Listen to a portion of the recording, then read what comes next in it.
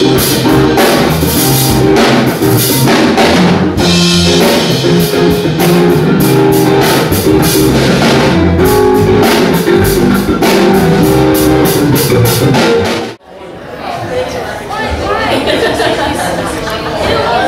guys, thank you for coming out tonight. Um, it's the sixth birthday of Kiva tonight.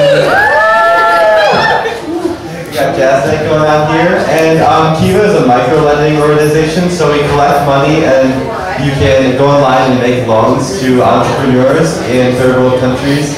And the loans get paid back as we loan, so it's a great process. And we've got a great lineup for you tonight, so um, stick around. Here's Alex Aronovich. Hey everybody, I'm Alex Aronovich. I'm the leader of the Minneapolis St. Paul lending team, and I'm very happy to present to you to the sixth birthday of Kiva tonight.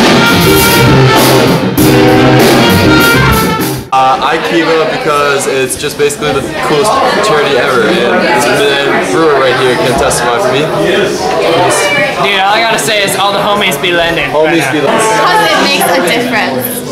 Oh my. I keep it because I think it's really cool that I can make an impact in the world with my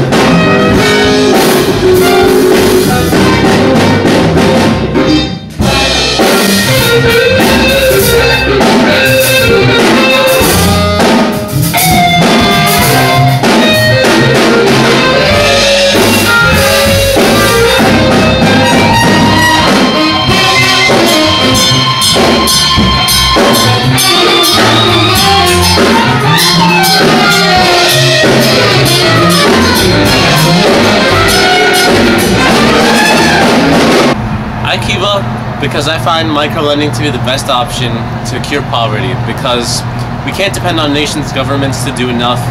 And really, what is enough? And I think Kiva is the closest to enough we can get because it takes, you know, right-minded citizens. It allows right-minded citizens the option to, you know, stake out their own money to help out entrepreneurs around the world. And my favorite part about Kiva is that it's a loan. It comes back and it recirculates. $100 can turn into $1,000 and it all is recirculating to treat world poverty. In my opinion, world poverty is the, biggest problem we have. So that's why I Kiva.